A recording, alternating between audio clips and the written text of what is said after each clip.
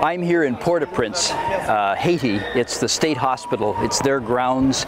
The, the, building's not safe, so all the treatment of the patients is being done outside. Right behind me, some World Vision volunteers. We've given them some supplies. They've got a little bit of health experience, are going around and helping, addressing the wounds, uh, just trying to be helpful here in this really overwhelming situation. Yes, this is going to be a long-term recovery process. There's lots of things to be done, but right now there's such a focus on the immediate medical needs, food needs, water needs, the things that keep people alive. So whatever you can do, your contribution can make a tremendous difference. Thank you.